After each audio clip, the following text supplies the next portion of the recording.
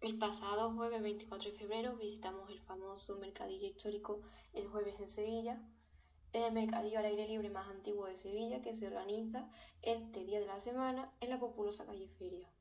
Aunque no se sabe su origen, se cree que es anterior a la conquista de la ciudad por el rey Fernando III de Castilla y desde entonces todos los jueves, excepcionando los jueves santos y los jueves en los que el tiempo no acompaña, se sigue celebrando esto. En este mercadillo histórico podemos encontrar objetos antiguos con valores increíbles a un precio que podríamos decir casi regalados y los vendedores buscan piezas antiguas de diferentes sitios y se ganan la vida de esta forma. Y, porque y por lo que nosotras hemos podido ver y nos han contado, le funciona muy bien, como nos decían estos vendedores. Pues a ver. Cuéntame. Mira, eh, ¿hace cuánto tiempo vienes a vender? A ver, yo llevo aquí en el mercadillo desde que tengo 16 años. Tengo ahora mismo 29. ¿Cuántos años? Unos 13 años aproximadamente. Aquí en este mercadillo, después de trabajar en otros mercadillos desde los 8 o 9 años. Con mi padre, hombre. Hombre, claro. O sea, que ya sabes de qué vamos. Más bien partiendo cosas que, que ayudando. Pero bueno, la cosa era que tú, tu intención era ayudar. Sí, sí, eso era ayudar. Bueno, pues eso es lo que cuenta. Y este tipo de cosas, ¿cómo las conseguís? A ver, nosotros viajamos por Barcelona, por Francia, Italia, todo furgoneta. Y vamos adquiriendo los artículos dependiendo de que nos avisen, o vamos al mercadillo de distintas ciudades, o, o aquí mismo en casa, o, o venta de. Efectivamente. Bueno, y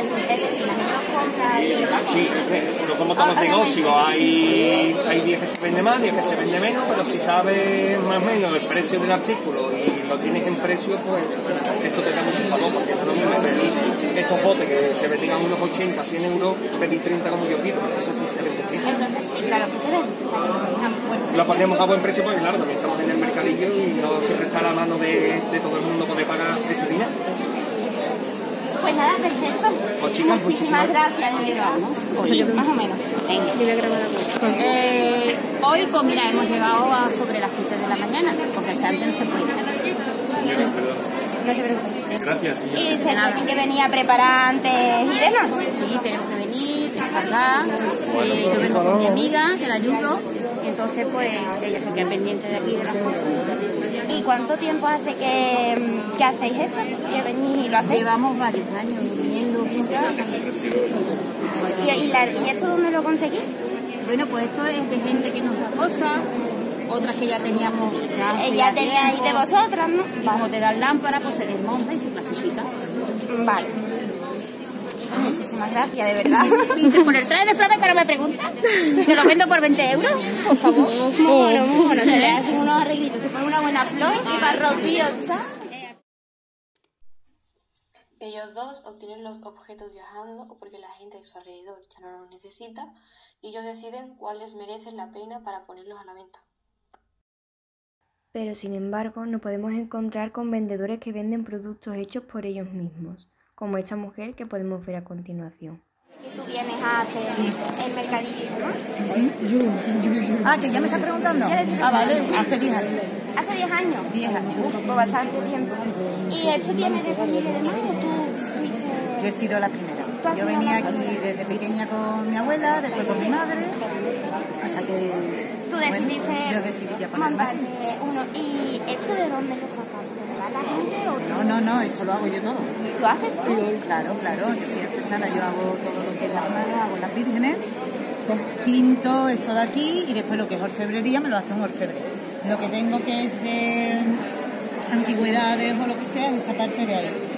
¿Vale? Un poco vintage, un poco de Un antigüedades. poco y sí, más antiguo. No me lo da nadie. Pues son preciosos, la verdad. Yo pensaba que, que sí, que te lo daban de No, no, no. no. Pues son preciosos y Aquí ya quedan muy pocos puestos donde se reciban cosas de. Normalmente se compra. Se Se compra compra un lote a alguien, a una familia que lo quiera vender porque ya no lo quiera o lo que sea, y ya Pues, de verdad, la enhorabuena totalmente porque es precioso, en serio, me he quedado súper sorprendida. Muchísimas gracias, de verdad. Este jueves no solo nos sirve para comprar o vender, también es algo cultural, una forma increíble de disfrutar otra de las maravillas que Sevilla nos da. Es un sitio muy turístico donde personas de otros países van a visitarlo. Nosotras pudimos preguntarle a una mujer inglesa, que era la primera vez que estaba en Sevilla y visitaba un mercadillo como este. Mercadillo así. ¿Y qué tal, qué tal te está pareciendo? Sí, me gusta especialmente porque puedes um, preguntar a la gente del mercado y tienen su propia historia y especialmente una mujer que um, está creando, está haciendo um, imanos para las monedas Sí. y también estoy tomando, ahora estoy en una clase de fotografía, entonces tuve una diferente perspectiva para ver la gente en relación al mercado. ¿Y mira qué bonito. pues esperemos que la visita aquí a Sevilla. Muchísimas gracias. Nosotras disfrutamos mucho de esta experiencia por ver cosas de años pasados, al preguntar la historia y observar cada detalle, cada cuadro que estaba pintado. Las historias tan peculiares que se llegaban a vender, tanto como la gente que las vendía y llamaba tu atención de diferentes formas. Incluso llegamos a comprar estos pendientes con un camafeo en morado y esta cruz para un colgante por tan solo unos 50 las dos cosas y este pendiente por tan solo un euro. A nosotras nos gustó mucho esta experiencia y animamos a más gente que disfrute de esto, porque realmente merece la pena.